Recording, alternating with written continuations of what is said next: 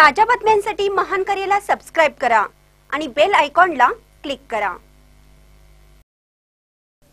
Covid नियंत्रणासाठी सतर्कता बाळगावी. मंत्री सौ शशिकला जोल्ले यांची बोरगाव चेकपोस्टला भेट. बाहेर राज्यातील येणाऱ्यांवर निगा ठेवून त्यांच्या कोविड रिपोर्ट निगेटिव्ह असल्याचं पाहूनच त्यांना कर्नाटकात प्रवेश देण्यासाठी निपाणी तालुक्यातील कोगनोळी व बोरगाव येथे शासनाच्या वतीनं चेकपोस्ट उभारण्यात आला आहे.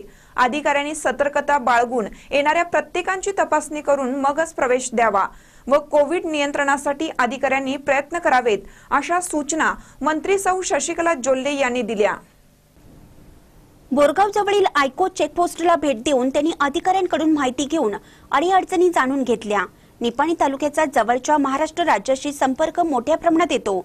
यासाठी अधिकाऱ्यांनी योग्य पाऊल उचलून नागरिकांच्या सुरक्षेबाबत खबरदारी घ्यावी.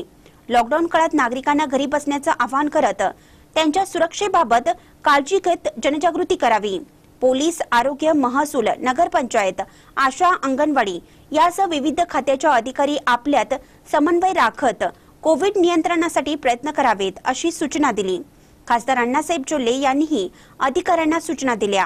यावेळी मुख्य अधिकारी पी बी देवमाने पोलीस उपनिरीक्षक आर वाय बेडगी आरोग्य अधिकारी Sandesh Raul Kedari Dada Shirdwadi Dada Bhadule Annaso Patil Sanjay Patil Anil Patil Sachin Padlale Javed Mujawar Vishnu Todkar Shishu Edmale Vishwas Nalawade Sheetal Ladge Amar Kamble D G Mujawar Sanju Jamkhodi Yashraj Bhore S S Hungar यांच्यासह विविध खात्याचे अधिकारी अंगणवाडी व आशा कार्यकर्ते उपस्थित होते.